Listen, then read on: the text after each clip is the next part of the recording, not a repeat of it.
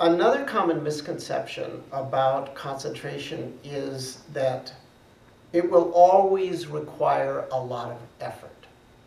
Now, it is true that initially, uh, when you attempt to develop concentration, your attention wanders, you bring it back, your attention wanders, you bring it back. This does require a certain amount of effort initially. But it is not the case that it's always going to require that effort.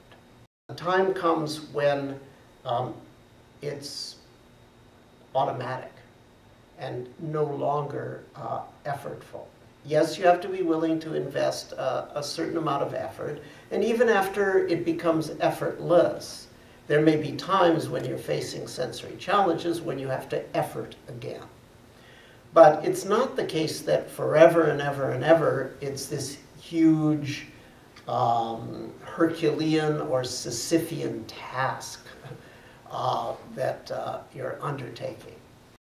You train yourself to be able to maintain uh, profound concentration states while uh, doing in very complex or chaotic environment.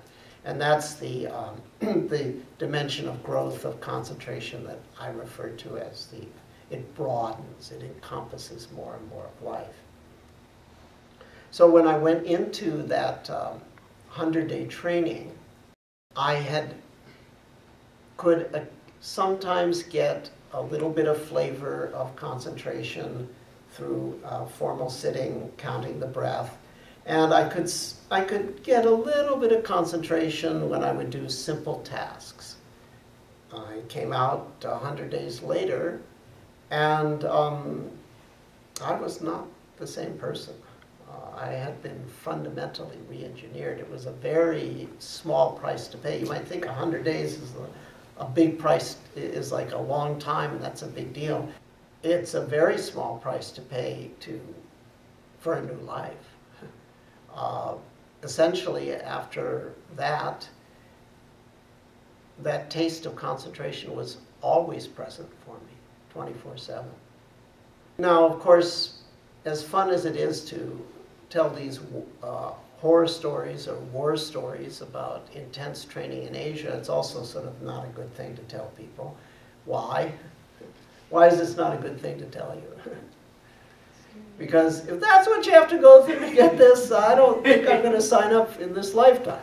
Okay, it's the natural reaction. It's like, what? I'm going to have to like torture myself with cold water for 100 days if I want to have perennial samadhi? Uh, no, not necessary.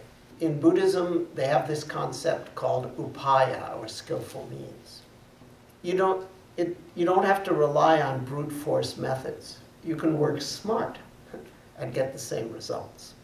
And my attempt to formulate the techniques and the uh, concepts of uh, this path in a very precise way is my attempt to allow ordinary North American, or let's say modern people, to allow you to get the same results that monastics get without the brute force methods. So no, you don't have to go through this kind of thing in order to get comparable results. You can work smart. And yes, you may have to amortize it over a longer period of time.